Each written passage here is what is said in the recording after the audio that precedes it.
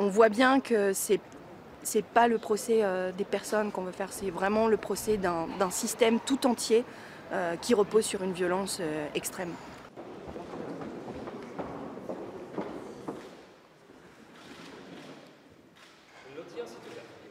Moi je dis que ce sont des salariés. Et pas des tensionnaires Certainement pas.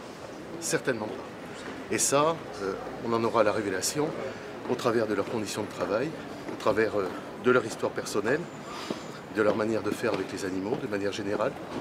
En tout cas, ce mot ne colle absolument pas avec ce dossier.